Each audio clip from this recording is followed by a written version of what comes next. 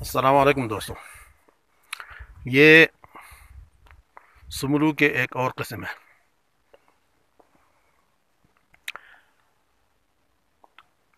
इसके दाने जो हैं आम मिलते हैं, लेकिन ये वाला किस्म नहीं मिलता। ये नायाब है। और ये तुरश है। इनमें तीन कस्म होते हैं। एक होता है कड़वा, एक होता है शीरी, मीठा। और ये है तुरश। इसके दाने इंतहाई तुरश हैं और इसके पत्ते भी दूसरे पत्तों से बड़े हैं। ये देखें।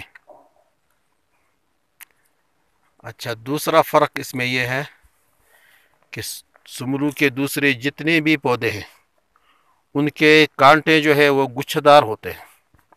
यानी एक ही जगह पे ये देखें ये एक जोड़ पे उसके जिस तरह ये दो पत्ते और एक कांटा है, इसी तरह तीन कांटे होते हैं। लेकिन इसका कांटा जो है वो एक ही है। एक एक कांटे के। और तीन होते हैं, पाँच होते हैं, सात होते हैं, नौ तक होते हैं। मैंने जहाँ तक देखा है, नौ तक।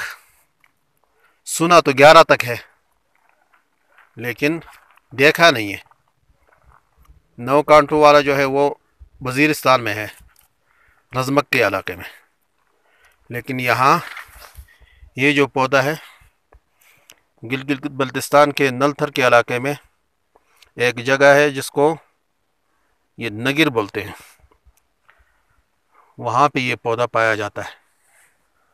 अस्सलाम वालेकुम वरहमतुल्लाहि